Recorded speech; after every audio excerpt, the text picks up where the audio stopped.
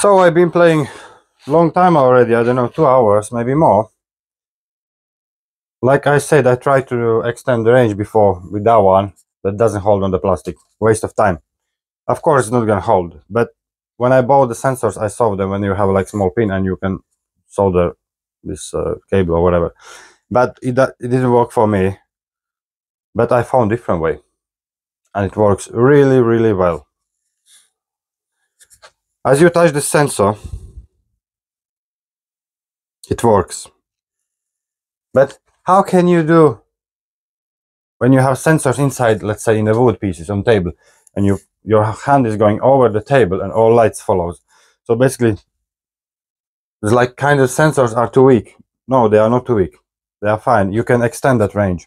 How? I'm going to show you how to do it. That's normal sensor. And that one is with the extended range.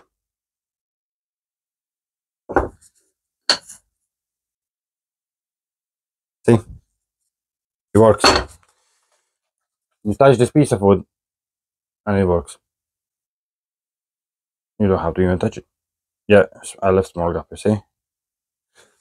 How I extend the range. Simple, guys. I'm gonna show you. I don't mind help others. So don't forget to subscribe to my channel, please. You see the small black one here. Uh, um, yeah, you see that one here, this one here. So everything what you have to do take the cable where is cable boom boom boom here. Come on. Uh once again you see? You put that first one here. Not to the second not on the middle one and not that one. On this side opposite to the led and is on. Why? Because cable is in my hand and the cable is gonna work like antenna. So you have to just solder soldering that one over there. It have to be really nice and tight job because it's very small. I did that for this one. What i did i put that cable here and then i put the um, glue with the glue gun around so it doesn't fall off and i just glue it. I'm gonna try to show you see? Sensor is inside. That is only the test. I take off my finger. But sensor have to stand like that. So basically sensor stands like that and you have ring on the front inside to the hole. So that's what i'm that's what i'm gonna do uh, with all the wood pieces what i will have for my table. I don't know it's gonna be hungry of them. But yeah that's the tip and trick uh, to show you how you can extend the range. Easy guys so over there is only let's say five mil you know? And it's not gonna go through the wood. Definitely it's not gonna go through the wood. Yeah you see? It's not going through the wood. But that one it does. Because range is extended. So now i'm to try to do for rest of the sensors to finish my small video for the facebook as well. So yeah guys don't forget subscribe to me. If you have any questions about wiring stuff like that ask me. I'm gonna help. There's nothing to hide guys everybody wants to learn exactly yeah so yeah i really like i enjoy it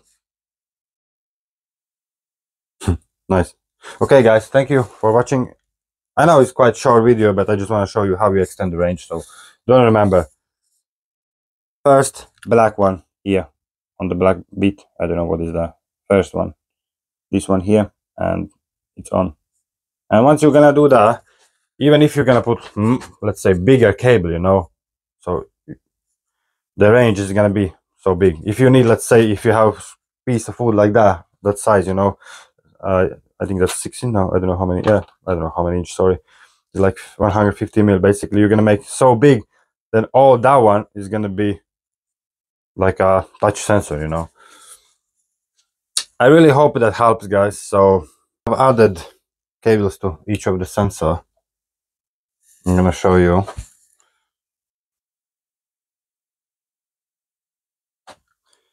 It's here on the first one. It's not the best job, but it's okay. Come on, go off. There's too many cables now here, that's why the lights go on. So where's that one? So yeah.